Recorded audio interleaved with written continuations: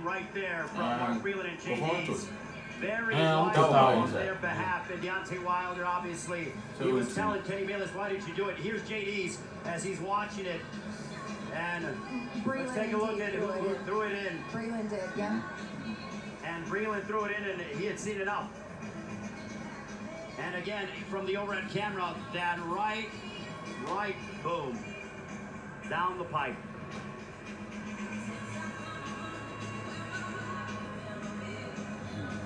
Absolute pandemonium. É, necessity. Ah,